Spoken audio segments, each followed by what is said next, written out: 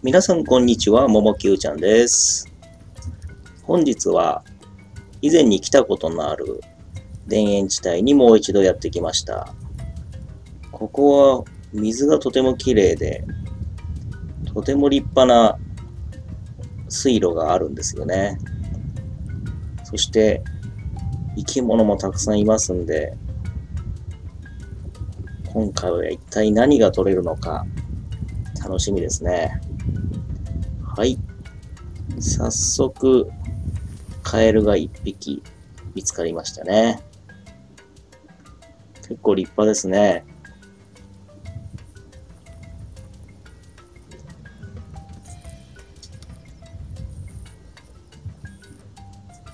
皆さんも子供の頃、こういった田園地帯でカエル取りだとか虫取り、ザリガニ取りなどしませんでした？はい、小魚ゲットです。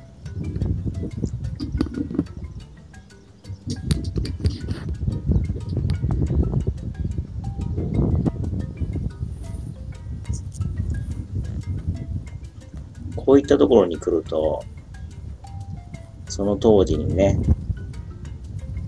すごく熱中した楽しい思い出が蘇ってきて、テンションが上がっちゃいますね。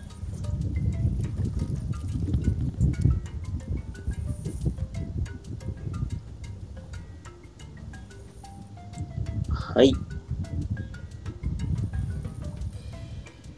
モロコですね。2匹目です。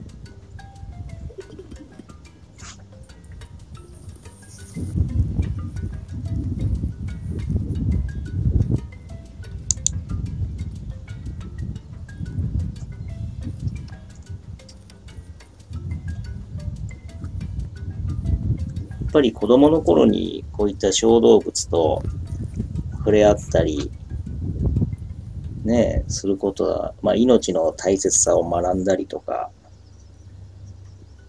そういった、まあ、教育にはすごくいいんじゃないかなって私は思いますよね。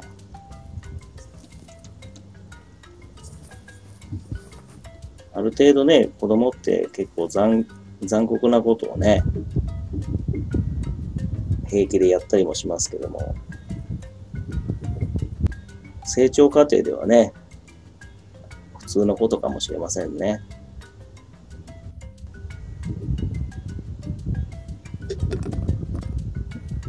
今のはタガメじゃないですかね。結構珍しいんじゃないですか長いこと見てませんね、私は。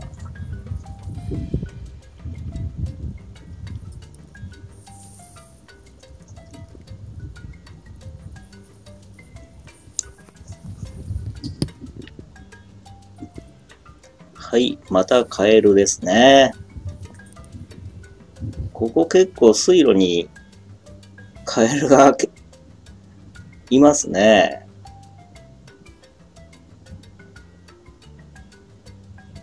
やっぱりこういった水路に落ちるとなかなかカエルもね、登れないですからね。水路で生活してるかもしれませんね。はい。なんか網の上に乗っちゃってますね。もう水路にいる子はもう田んぼに戻してやります。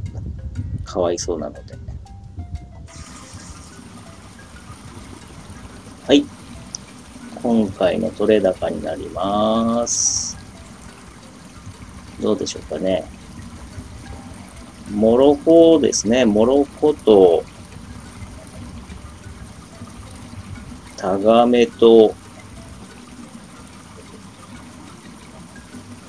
あとはオタマジャクシですね。オタマジャクシはもう無限にいましたね。あとはタニシですかね。タニシはね、水をきれいにしてくれたりとか、あと、まあ、動物の死骸などを食べてくれたりとかね。そういった役割を果たしてるみたいですね。なので、例えば、まあ、死んだカエルなどにね、タニシが群がって、その死骸を食べたりとかね。うまいことできてますよね。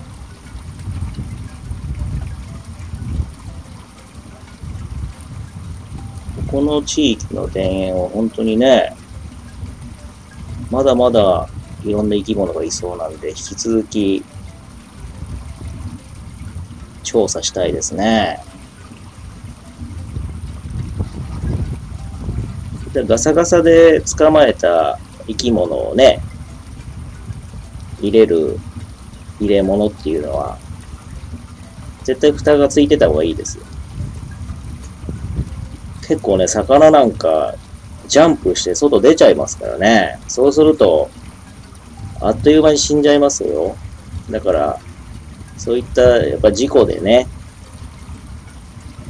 死んじゃったりするのってすごい、かわいそうですし、自分もね、後悔すると思うんで、私は必ず蓋のついたね、入れ物に入れるようにしてます。あとね、あのー、そうですね。まあ、例えばカエルを捕まえるときなんていうのは、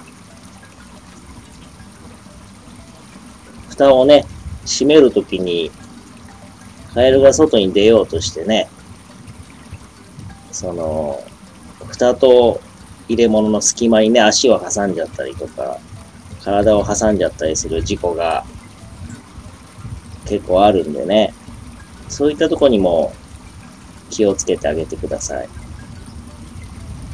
はい。本日の動画は以上となります。